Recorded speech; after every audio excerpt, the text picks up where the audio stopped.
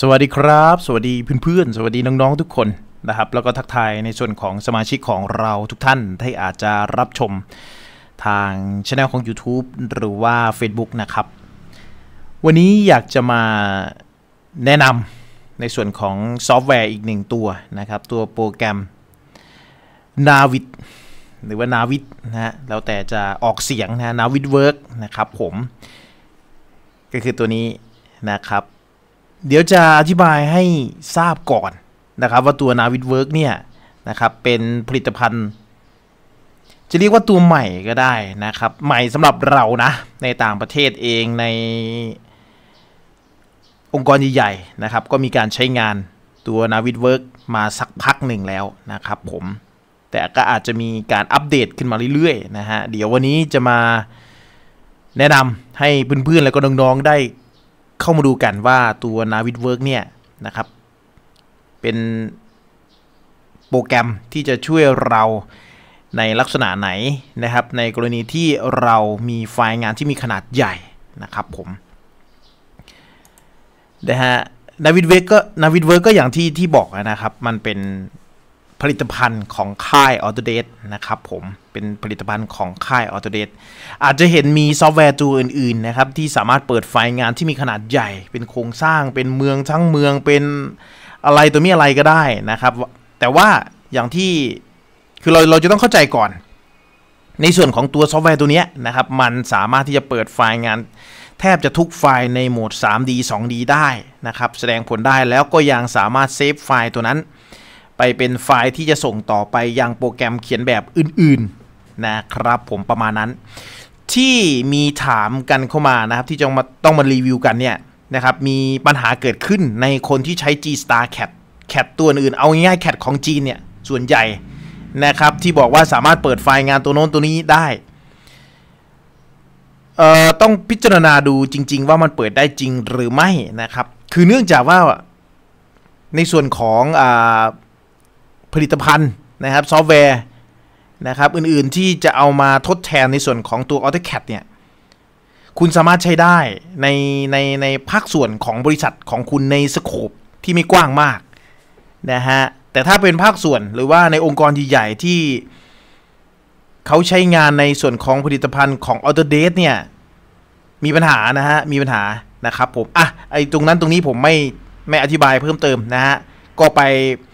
วิเคราะห์พิจารณาการเอาเอง ในส่วนขององค์กรของท่านนะครับ ว่าจะใช้ผลิตภัณฑ์ของตัวไหนนะครับ วันนี้อย่างที่แจ้งให้ทราบจะแนะนำในส่วนของ Navid Work ใครที่อยากจะพิมพ์เข้าไปนะครับ หา Navid Work ก็กดตรง Google นี่แหละนะครับ ผมพิมพ์เข้าไปเลยนะครับนะ Navid Work Navid Work คืออะไร Navid Work ตรงนี้นะฮะ จากนั้นก็กดเข้าไป อยากจะไปดาวน์โหลดตัวทดลองใช้ก็เข้าไปตรงนี้ได้นะครับผม ก็จะเป็นหน้าต่างที่ผมโชว์ให้ดูในตอนแรกนะครับ สิ่งที่เราจะต้องเข้าไปตรวจสอบกันก่อนสำหรับการจะใช้ตัวไทเอาเนี่ยตัวฟรีเนี่ยนะครับจะต้องไปดูในส่วนของ System ก่อน System Request มันค่อนข้างที่จะเรียกร้องในส่วนของสเปคของคอมพิวเตอร์ค่อนข้างไม่สูงมากนะเท่าที่เท่าที่ดูนะครับผมแต่ว่าก็ยังยังสามารถเปิดไฟล์แบบใหญ่ๆได้นะฮะก็ประมาณนี้เข้าไปตรวจสอบกันก่อน อันนี้จะเป็นเป็นแบบ พื้นฐานความรู้นะครับ ไม่ต้องเดากันนะฮะเข้าไปดูได้จากนั้นก็ดาวน์โหลดในส่วนของตัวฟรีเข้าไป ทีนี้เมื่อเราทำการดาวน์โหลดหรือว่าติดตั้งตัวโปรแกรมเข้าไปเนี่ยมันจะมีทั้งหมดอยู่ 3 ตัวเดียวผมจะในในตอนแรกของวันนี้จะอธิบายในส่วนของตัวหลักก่อนก็คือ Navid Work ตัว Manager 2018 มันจะมีตัว Freedom นะครับผมแล้วก็จะมีในส่วนของตัว BIM มันมีทั้งหมด 3 ตัวนี้ที่ติดตั้งเข้ามานะฮะอะเดี๋ยวเราเปิดเข้าไปดูกันก่อนนะครับ ดับเบิลคลิกเข้าไปนะครับ หลังจากที่เราทำการติดตั้งตัวทดลองใช้ในส่วนของ Navid Work นะครับ ในช่วงที่เรารอนะครับ ก็มาดูกันก่อนนะฮะว่าผมจะทำการเปิดในส่วนของไฟล์ AutoCAD 3D AutoCAD ขึ้นมานะครับ แล้วก็ Revit ขึ้นมานะครับ จากนั้นก็จะส่งเข้าไปในส่วนของตัว Navid นะครับ แล้วก็มาดูกันว่ามันสามารถที่จะ เปิดไฟล์งานแบบใหญ่ๆ ได้เลยไหมกระตุกไหมมีปัญหาอะไรไหมนะครับอะเดี๋ยวมาดูกันก่อนนะครับ ก่อนอื่นผมจะอธิบายในส่วนของโครงสร้างหน้าหน้าต่างการใช้งานของตัว Navid Work ก่อนนะครับ ใครที่ใช้ผลิตภัณฑ์ของ Autodesk อยู่แล้วก็อาจจะคุ้นเคยดีอยู่แล้วนะครับผมช่องแรกตรงบริเวณนี้นะฮะช่องแรกตรงบริเวณนี้นะครับนะครับเราเรียกว่าเป็นคือเหมือนกับ AutoCAD นั่นแหละนะครับ ช่องแรกนะครับ ตรงบริเวณนี้นะฮะ เดี๋ยวจะให้ดูเป็นเป็นชัดๆอีกทีหนึ่งนะฮะนี่นะครับช่องบริเวณนี้นะครับ นี่นะนี่นะฮะ Customize Quick Accept Toolbar นะครับ คล้ายๆกับ จุดที่จะมีการใช้งานค่อนข้างบ่อย มันจะมีลูกศรออยู่ตรงนี้นะฮะ คลิกซ้ายหนึ่งครั้งนะครับผม ตัวที่มีการ standby เครื่องหมายถูกไว้ด้านหน้าเนี่ย มันก็จะโชว์นะครับ นะฮะตัวที่จะมีการใช้งานบ่อยๆนะตรงบริเวณนี้นะ ประมาณนั้น ส่วนใครที่เคยใช้อาจจะเครื่องของคนอื่นนะครับ มันจะเซตในส่วนของตัว Customize Quick Accept Toolbar ตรงเนี้ยนะครับ ลงมาไว้ด้านล่างได้โดยกดตรงโชว์นะครับ ตรงนี้นะฮะ มันก็จะลงมาด้านล่างเป็นลักษณะนี้ ถ้ากดเข้าไปใหม่นะครับ เป็น above นะฮะ มันก็จะโชว์ขึ้นไปข้างบนนะครับ ที่เหลือก็จะคล้ายๆกับตัวโปรแกรม AutoCAD ทีนี้แถบ Ribbon ในส่วนของ ด้านล่างเนี่ยก็จะเหมือนกันนะครับ มันก็จะมีหน้าโฮมหน้าอื่นๆไปนะ ผมจะจะยังไม่เข้าไปเจาะลึกมากนะครับ จะแนะนำให้เพื่อนๆและน้องๆเนี่ยสามารถเปิดขึ้นมา แล้วก็สามารถที่จะลองเทสเปิดไฟล์อื่นๆขึ้นมาได้ก่อนนะครับ ผมประมาณนั้นอะในพื้นที่การวิวงานนะครับ พื้นที่การวิวงาน พื้นที่ในส่วนของมุมมองงานเนี่ย มันก็จะสแตนบายนะครับ ตัวนี้เป็นวิวคิวนะวิวคิว ตัวนี้ก็จะเป็นคล้ายๆกับ navigation นะฮะ ถ้าเราดูตรงในส่วนของ view มันจะมีปุ่มนี้นะครับ เนี่ยฮะ navigation bar นะหรือ navigation เนี่ยนะฮะ ก็คือตรงนี้ ถ้ามันหายบางครั้งมันหาย มันหายออกไปอย่างนี้นะฮะ เราติ๊กตรงนี้นะครับ มันก็จะกลับคืนมา ลูกบาศก์แสดงสถานะหรือ view cube ตัวนี้นะฮะ ก็จะ stand by ตรงนี้นะครับผมประมาณนั้น อะ เอาประมาณว่า guideline คร่าวๆตรงนี้ก่อนนะครับผมกลับไปที่หน้า home ก่อนนะนะครับผม เเดี๋ยวในส่วนของตอนถัดไปเดี๋ยวจะมาพูดถึงการ export นะครับไฟล์ต่างๆ ออกไปอีกทีหนึ่งแล้วกัน ส่วนตอนแรกเนี่ยเรามาดูกันก่อนนะครับว่าถ้าสมมติว่าผมมีไฟล์อ่า Revit นะฮะมีในส่วนของตัว Revit เนี่ยนะครับไฟล์ตัวนี้นะครับผมจะส่งเข้าไปในส่วนของ Navid Work เนี่ยนะครับจะเปิดได้ไหมจะมีปัญหาไหมนะฮะเดี๋ยวดูเดี๋ยวดูอีกทีหนึ่งอาจจะส่งเป็นไฟล์ตัวอย่างอื่นๆไป แต่ให้ดูก่อนว่านามสกุลไฟล์ของ Revit มันก็จะระบุ อยู่แล้วนะฮะ อย่างเช่นสมมติว่าผมไปที่ไฟล์นี้นะฮะ save as นะครับ เราไปดูนามสกุลไฟล์ของตัว Revit กัน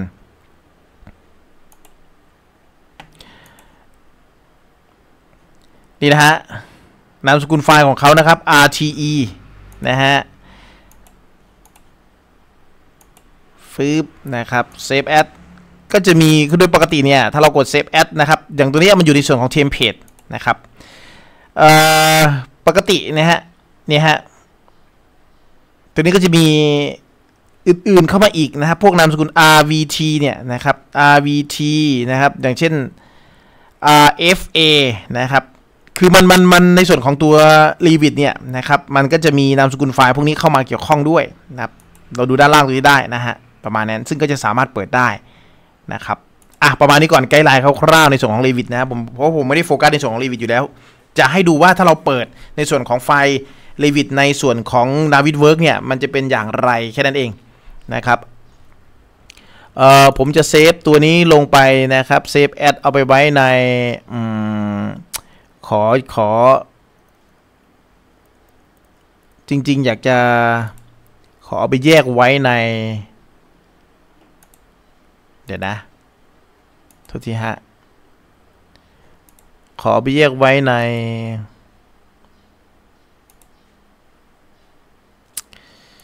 อืม ข้างนอกดีกว่านะครับ อะ เอาไว้ในเดสก์ท็อปเนาะ จะได้หายง่ายนะฮะ ชื่อตัวนี้เลยนะครับ basic sample นะครับผม นามสกุลไฟล์ก็ RVT นี่แหละ save เลย ผมจะได้เปิดง่ายๆจากตัว Navisworks ได้นะครับ สักครู่นะครับ มัน save ไป นะครับประมาณนี้โอเค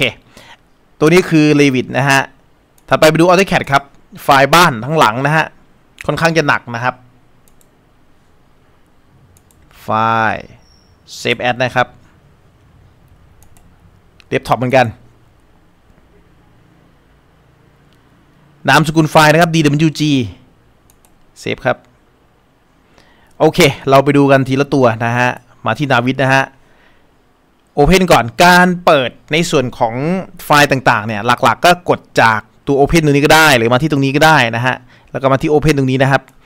นะฮะประมาณนี้ก็ได้เหมือนกันอะผมจะมาที่ในส่วนของ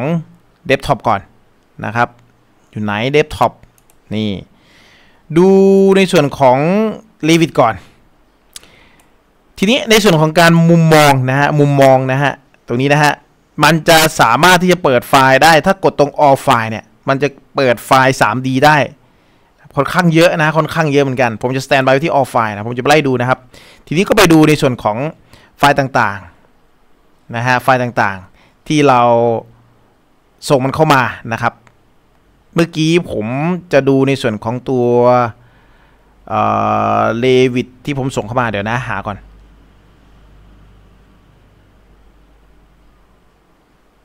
นี่ฮะ ตัวนี้ครับ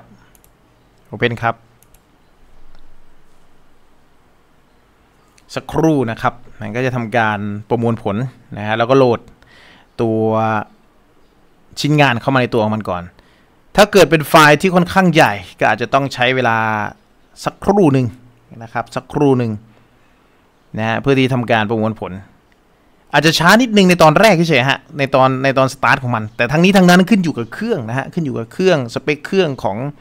ของเรานะครับเห็นไหมฮะก็จะพยายามปรับแล้วก็จะดึงเอาชิ้นงานทุกตัวนะครับ เข้ามาในส่วนของตัวนาวิดเวิร์กตรงนี้นะฮะเรียบร้อยนะครับน่านะครับผมมาแล้วนะครับครบเลยนะครับมีอะไรบ้างที่เราจะตรวจสอบกันก่อน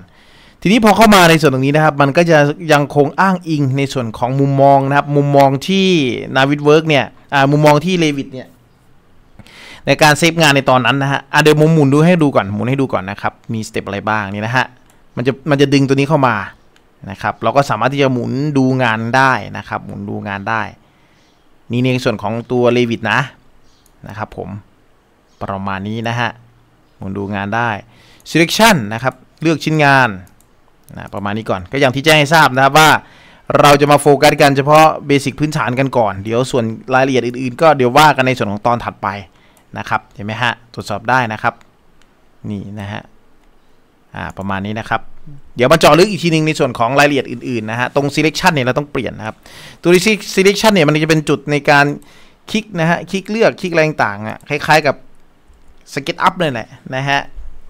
เคนะครับ อันนี้คือเปิดได้นะฮะ เปิดได้ในส่วนของ Revit นะครับ อะ ทีนี้ไปเปิดตัวใหม่นะครับผม Open ใหม่ คราวนี้ดูในส่วนของตัว AutoCAD บ้างนะครับ AutoCAD ที่เป็นบ้านนี่นะครับ Open ขึ้นมาเลย สักครู่นะครับ เปิดได้ทีละตัวฮะ ทีละตัว ครับผมมาแล้วฮะ เห็นไหมครับ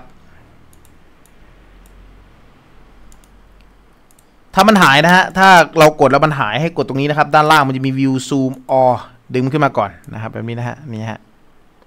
เห็นไหมครับ คือค่อนข้างที่จะ เป็นชิ้นส่วนนะครับ ตามตามที่มันมาจากในส่วนของตัว AutoCAD เลย เนี่ยนะฮะ เห็นไหมฮะ เบานะฮะ ถือว่ามุมมองมองงาน 3D ได้ค่อนข้างไว นะครับค่อนข้างไวทีนี้มาดูการเซฟงานมาดูการเซฟงานนะครับ ทั้ง Revit แล้วก็ AutoCAD นะครับ ไปที่ตัวนี้นะครับ แล้วก็กด Save As นะครับ นามสกุลไฟล์นะครับ จะมีอยู่ประมาณนี้ ซึ่งจะต้องเปิดจาก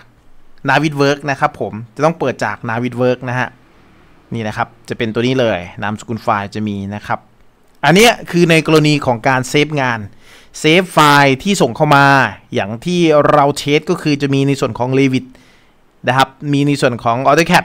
นะครับ แล้วก็ save ไฟล์เป็นตัวของเขาเพื่อจะส่งไฟล์ไป ไฟล์มันจะค่อนข้างเบาฮะ ไฟล์จะค่อนข้างเบา นะครับ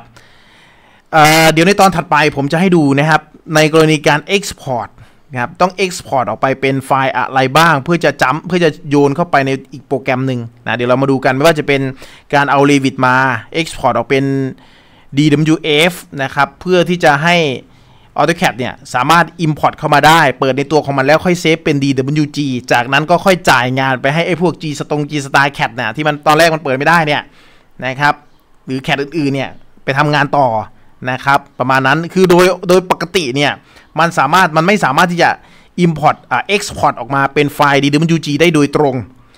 เพราะว่านะครับผมเชื่อว่าทางค่าย Autodesk เนี่ยเขาไม่ได้ไม่ได้ไม่ได้อ่าไม่ได้ ทำไม่ได้นะเขาทำได้ แต่ถ้าทำออกมาแล้วเนี่ย พวกโปรแกรมอื่น ๆ เนี่ย เอาไฟล์ของเขาไปสานต่อ มันก็ไม่แฟร์สำหรับสำหรับค่ายยักษ์ใหญ่อย่างเขา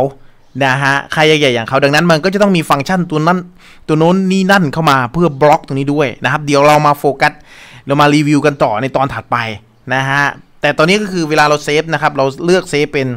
ตัวนี้ครับนะครับ แล้วไฟล์มันก็จะออกมาเป็นแบบนี้แล้วกด save เข้าไป นะฮะสมมติว่าผมกด save นะครับในหน้าเดสก์ท็อปนะครับ เป็นชื่อนี้นะฮะนี่ฮะกด save ครับ save ปุ๊บเข้าไปในหน้าเดสก์ท็อปมันก็จะ save นะครับไฟล์ตัวนี้ไว้นะครับ ไปดูกันในหน้าเดสก์ท็อปนี่นะฮะเป็นตัวนี้นะครับอ่านี่ฮะ